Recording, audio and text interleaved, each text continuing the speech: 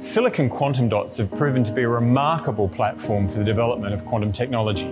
They hold great potential for the development of large-scale quantum computers, in part because of their compatibility with silicon CMOS industrial processes. In our centre program, we're exploring how quantum dots can be deployed as an enabling technology for readout and quantum interconnects. So far, the results are impressive. In 2009, we isolated a single electron in a silicon CMOS quantum dot device for the first time. Then in 2014, we demonstrated that a silicon quantum dot could be operated as a high fidelity single qubit. And we followed that up in 2015 when we demonstrated the first two qubit logic gate in any silicon system. In 2018, we set a world record for the highest fidelity in a silicon quantum dot qubit. Our base technology uses a metal oxide semiconductor stack known as silicon MOS to confine a tiny quantum dot under a metal gate electrode. Our device designs are compatible with industry standard CMOS processing techniques, the same processors that make the chips in your phone and your laptop. And so they are prime candidates for scaling to the large volumes of qubits that will be required for universal, fault tolerant quantum computation. Our quantum dot devices are typically operated with a single valence electron, creating a spin one half system that can be operated as a qubit.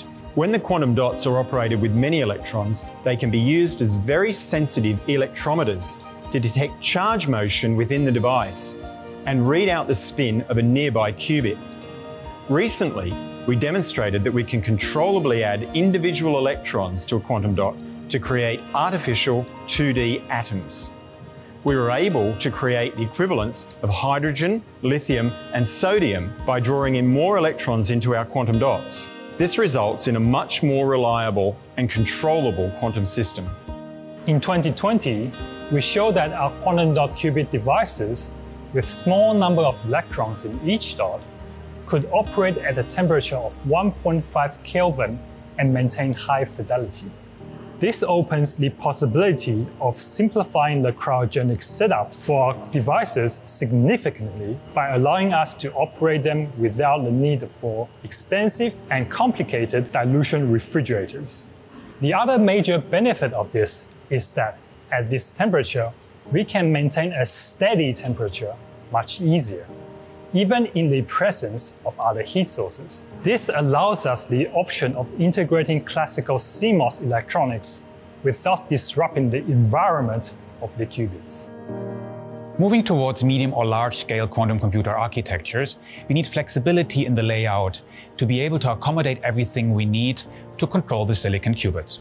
In order to provide flexibility, we're developing methods to connect qubits over long distances. In 2021, we published a paper reporting the experimental demonstration of shuttling, or moving an electron qubit between quantum dots without losing the crucial quantum information. Using this control technique, you can connect distant qubits by physically shuttling electrons along a line of quantum dots, opening up new possibilities for architectures and designs.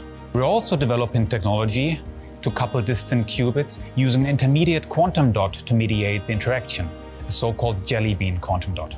The jelly bean is typically a larger quantum dot that can mediate two-qubit exchange over larger distances than standard nearest neighbor approaches. Development of jelly bean quantum dots with 160 nanometer length are currently underway, and we are expecting to extend the coupling range in the near future.